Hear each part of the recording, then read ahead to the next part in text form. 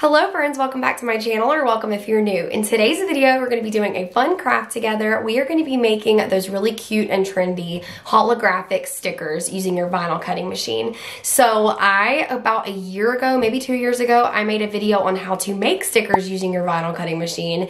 And that's how I've been making my stickers for so long. And I've been seeing going around how to make those holographic stickers. So I thought that would be really fun to try and make.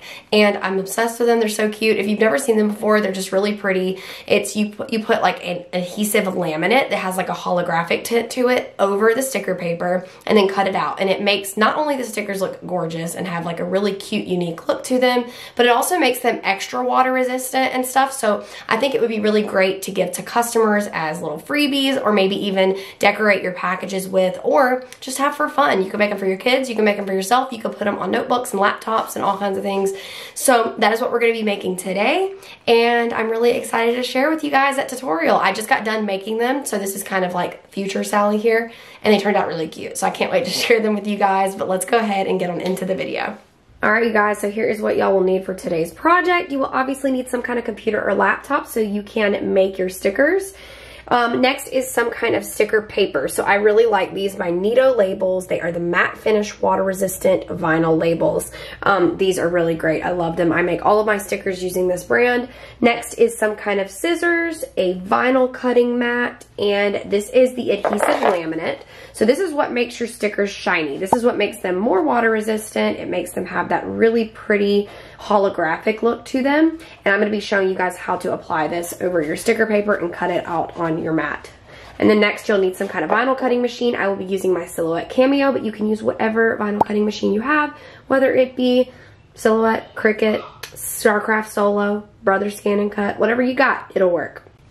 Oh, and I almost forgot to add, you don't need this, but it makes it more helpful, is a ruler. So this is so that you can smooth this laminate out on this paper and not try not to get bubbles. so that is something else helpful to get. I just got this at the Dollar Tree. It came in a two pack and it's just a wooden ruler.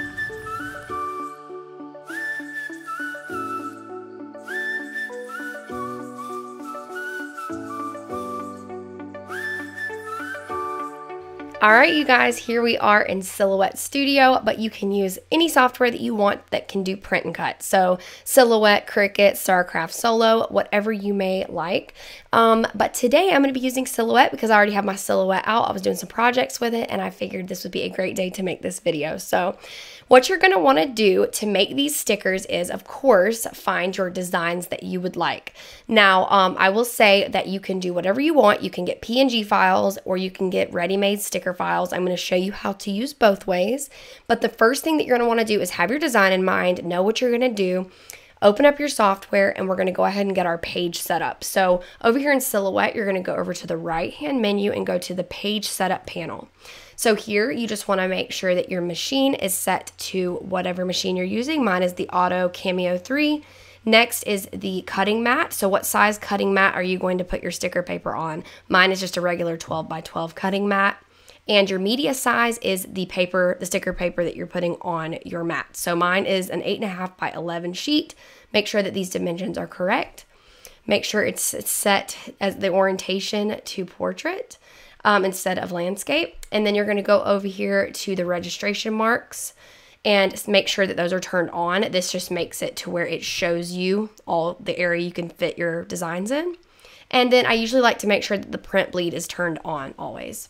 Okay, once that's done, your paper is set up and then you're going to go import your files. So like I said, there's a couple options you can do. You can do just regular PNGs and turn them into stickers or you can do a ready-made sticker file. I'm going to show you both. So you go to File and you go to Merge and select your designs. Okay, so I have these two designs imported. This Keep It Weird file is already a sticker file. As you see, it has this border that your machine knows where to cut. So that's how what makes it a sticker file. And this is just a normal PNG file that is not really made to be a sticker, but you can make it into a sticker. So as you see, it's kind of just a square here. It doesn't know where to cut. If you were to put this into your machine, it would not really know what to do. So we're going to make it know what to do. So what you're going to do is create an offset. Here on Silhouette, you just go over to the right-hand side and you click the offset panel. Then you're going to hit offset and see it makes this little border around, just kind of like this has here. And you're gonna just play around with it, get it, you can make, go higher, you can go lower, but I usually like to keep it around 0.120. Um, that seems to be a good fit for a lot of different sizes. So that one is ready to go. And now I like to go into the color or the fill panel and fill it in white. It just kind of makes it, you know, look pretty and shows me kind of what I'm working with here. And now this one's ready to go. Now your machine knows that this is a sticker file and it knows not to cut the butterfly out exactly, but cut a little border around the butterfly and it just looks prettier for the stickers. So now I'm gonna go ahead and group this together, Control G, and now I have my sticker ready to go. Next, you're going to just size it down or up, whatever size you want your stickers to be. I've been making all of mine about two and a half, so that one is ready to go. And next, you're want to make sure that you fit everything on this paper. So you guys see that I already have these ready to go here. I kind of played around with these. By the way, I got this bundle here um, at Design Bundles. I'll link the exact one that I got down below. And then I got this one on Etsy. And then I got all of these butterflies here on Design Bundles as well. I think it's going to look really pretty with the holographic paper.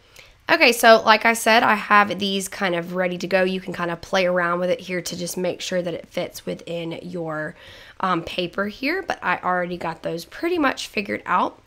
So next, once you got that ready to go, you are going to go over here to send and get your settings figured out. So in this example, I'm going to show you how to just do like a kiss cut um, a kiss cut means that it is going to cut through the laminate and through the sticker paper, but not through your paper all the way. So it's not going to cut each individual sticker out. It's going to leave you with a full sheet of stickers, if that makes sense.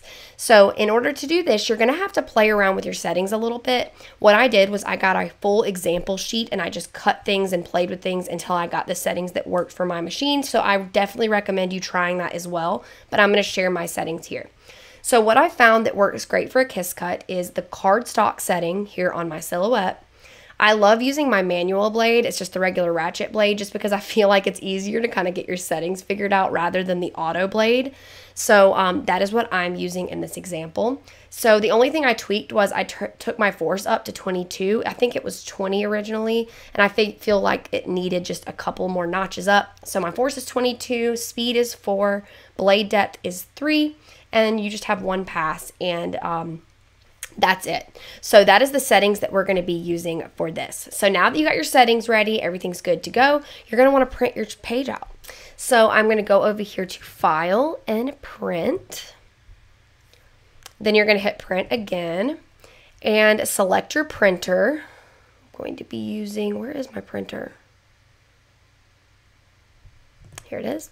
And then you're going to go to preferences and find your settings. So I have a sticker settings here that I love that work really well for me. And this is the settings I use. I make sure it's set to 8.5 by 11. Paper type is premium presentation paper matte. Quality is high. So those are the settings that I like to use and they, they come out great every time.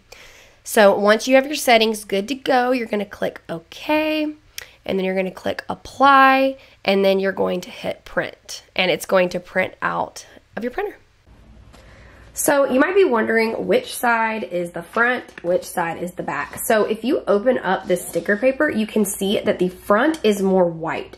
So the back has a little bit of a yellowish tint to it, but the front is white. So that's kind of how you'll be able to tell. And it definitely does matter because if you put this in your printer backwards, your stickers will be backwards, so it won't work. So make sure that you check that out before you load it up into your printer. I've definitely made that mistake more than once.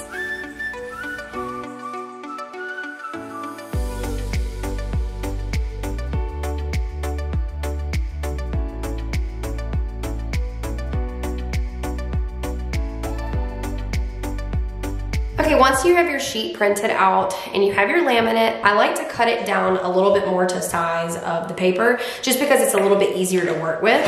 So I think I'm gonna cut it down to about nine. And then you can save this for other projects.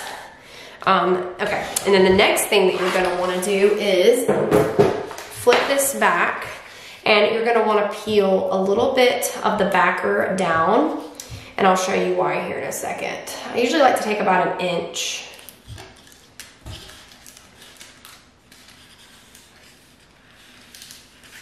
And then just fold that backer down just a little bit.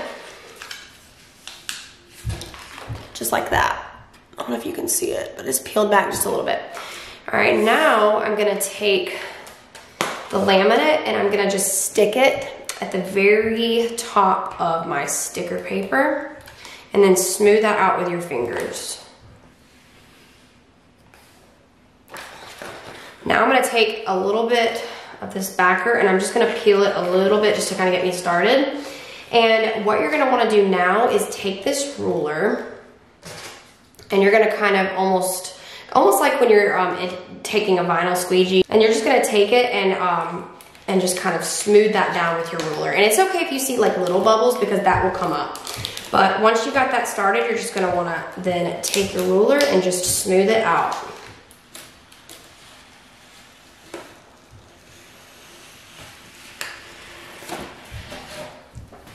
Okay, now it's smooth and you're just gonna wanna work some of these like small bubbles that you might have gotten in there out. It's really forgiving. Like some of them might be a little bit messed up. Like my first one, I kind of messed it up a little bit.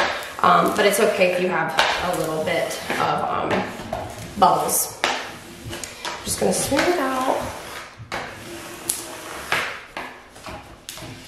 And see it's good and smooth. And now what I'm gonna do is I'm gonna just trim off this bottom piece right here just because it's kind of getting all over the place. And we're gonna go stick it on our mat.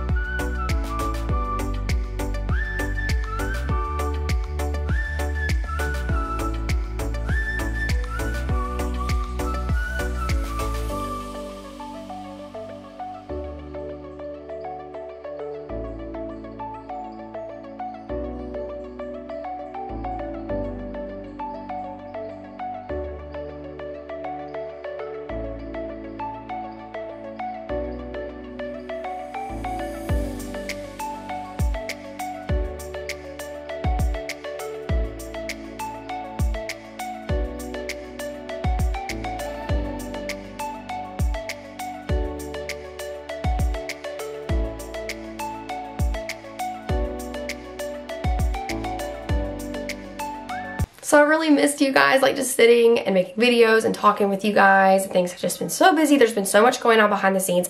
But I will say that I have sat down and made a bunch of different video ideas for you guys. So from now through the end of the year, just expect a ton of videos coming and um, hopefully I can get on a good routine for you guys and make those videos. So expect a lot of crafts and tutorials and projects and work with me's and just a bunch of fun stuff coming up behind the scenes. So y'all stay tuned for that. All right, you guys, so that pretty much wraps it up for today's video. If you enjoyed it, make sure to give it a thumbs up and subscribe if you haven't already. And let me know, do you like the holographic look? Do you think that you'll be giving it a try? If you already tried it, let me know down in the comments. And I guess I will see you guys in the next one, which will be very soon. Bye, everyone.